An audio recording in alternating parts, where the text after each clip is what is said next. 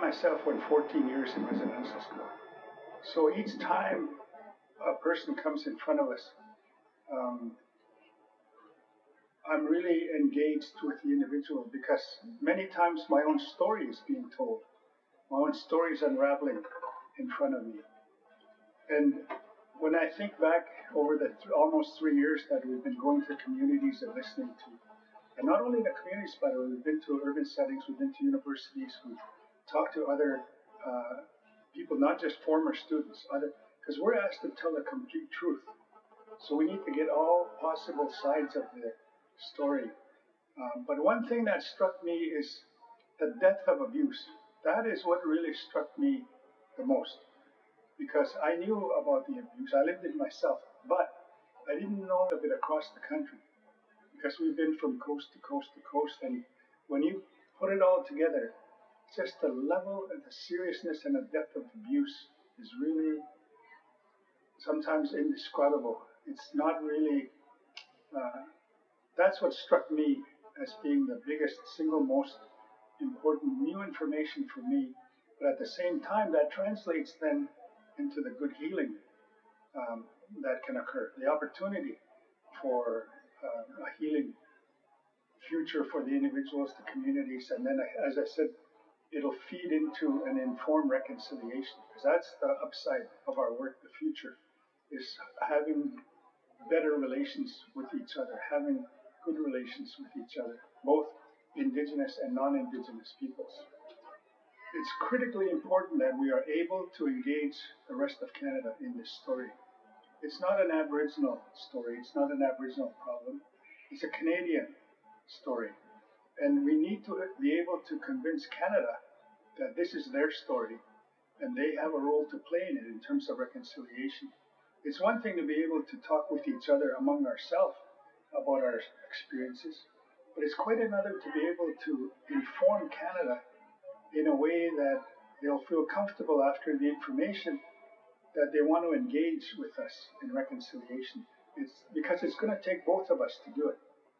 Yes, on one on one hand, we have our own work to do within our own communities, within our own family reconciliation, for example. But it's the other bigger picture, which is the challenge, and that's how do we engage not only the Canadian citizen, how do we engage institutions, the academia, the universities, how do we engage private industry? Because they all have a very important role to play in reconciliation. So that's the challenge we have, and it's something that we grapple with, I think, probably on a daily basis, and it's something that's in deep, certainly in our mind to try and reach, for example, the new Canadians who come and and immigrate to Canada. They know nothing about the residential school experience. So how do we engage them? First of all, to inform them, and what role would they play in reconciliation? What role does business play in reconciliation? So we need to inform them about how exactly do they fit into this whole scenario. So that's a challenge, and it's it's really uh, something that's in our mind because we're focused on trying to find the ways that we engage Canada. First of all, we don't listen to anyone um, with their experience unless there's supports there, unless there's medical supports, there's spiritual support or cultural supports. So we feel that we offer a safe setting for the individual to be able to share their experience.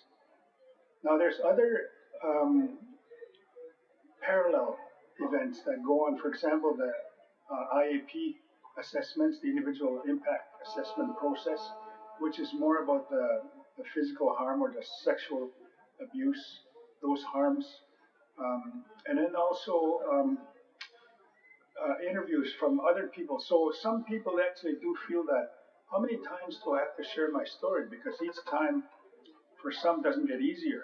In fact, it's a deeper injury. So we're very cautious about that. But at the same time, um, uh, early in our work, I remember being told that um, exactly that point. How many times do I have to tell this? Nobody believes me anyway. So why should I keep telling a painful story or painful expression of my experience? So uh, I think over the time since we've started, things have changed because the setting is safe. it's important that they share their story with us. And in fact, some are told by their lawyers, apparently, don't tell your story. It's up to the individual to decide that, whether they feel comfortable enough to share their, want to share their story. Some say, I wish my family was here so they could hear it for the first time. I've told a lot of other people, but my family hasn't heard it. So it's a bit of a, it's a difficult question, it's a difficult issue, but we make sure that we have provide a safe setting so that when they come forward in front of us, we listen very carefully, we take it seriously, because we consider our work as a sacred trust. And to offer it up that way, I think is important. There's a, a lot of different medium media of collecting the what really happened in residential schools. Now, all of that information, we're called on by the court order to establish a national research center. So, with consent of the people who, not all of them, by the way, will offer their consent, but that information will go into the National Research Center for future access. Maybe 10, 20, 30 years from now, their grandchildren might want to hear their story, or a researcher might want to access the, the information. So it's supposed to go to a national research center where, where what we gather through our process and other processes will be housed in the National Research Center.